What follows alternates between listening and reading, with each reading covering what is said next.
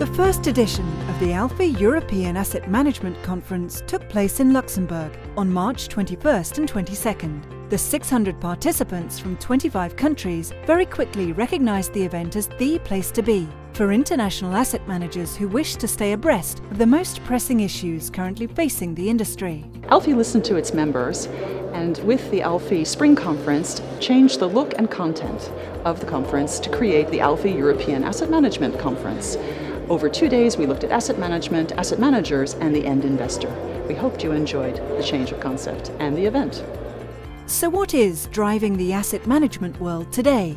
The CEOs of international asset management companies discussed how the future development of this sector will depend on its ability to adapt to a rapidly changing environment and what the key trends are.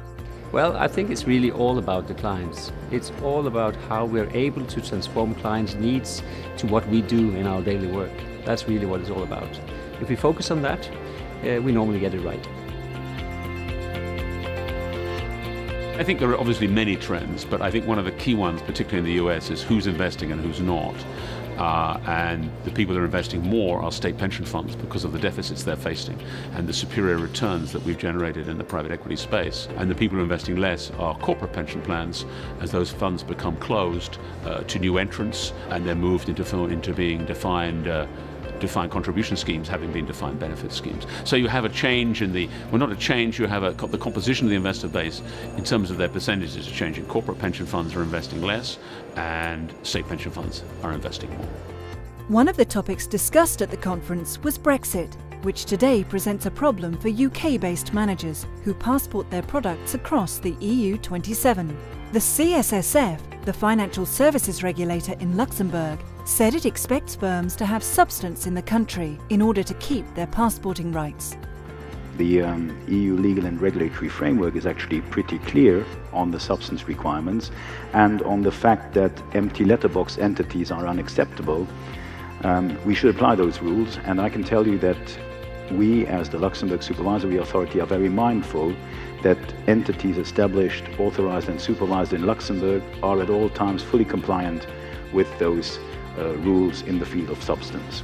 Nonetheless, some believe certain jurisdictions are having a regulatory race to the bottom to attract market share, and this has been slapped down by the European Securities and Markets Authority, ESMA.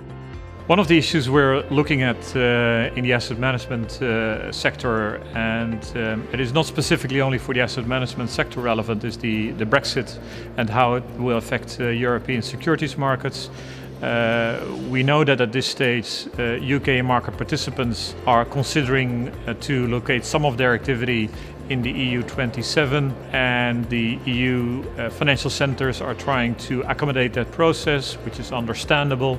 But it's very important that uh, when they try to attract business from the UK is that they don't do it on uh, supervisory standards or on regulatory standards. We should avoid that the uh, development where UK market participants are looking for a new location is that it happens or results in a round of regulatory competition.